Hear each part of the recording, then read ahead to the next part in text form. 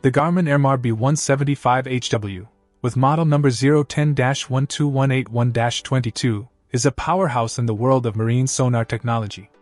Designed for the serious angler or deep sea explorer, this transducer promises unmatched depth capabilities and clarity, reaching depths of up to 10,000 feet. Its robust design and advanced technology make it an essential tool for anyone looking to enhance their marine navigation and fishing experiences. Starting with its build, the B175HW weighs approximately 10.85 pounds, indicating a solid and durable construction that is vital for handling the harsh conditions of marine environments. The heft of the device assures users that it is built to last and withstand the pressure of deep water activities. The transducer is a high wide model, which means it provides a wider beam angle for better coverage and detail at shallower depths, making it perfect for tracking fish and underwater structures more effectively.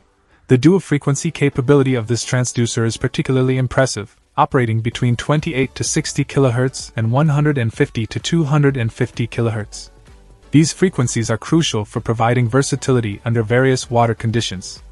The lower range of 28 to 60 kHz is ideal for deep water fishing as it penetrates deeper into the water column, giving clear images of what lies below, even at extreme depths.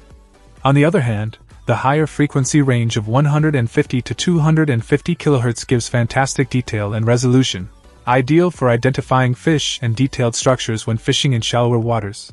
Moreover, the Garmin Airmar B175HW stands out with its power capacity ranging from 2 to 3 kilowatts. This high power output allows for clearer, more defined sonar images. The strength of the signal means that even in deep waters, where lesser transducers might fail to deliver clear imagery, the B175HW. Check out the video description for updated price.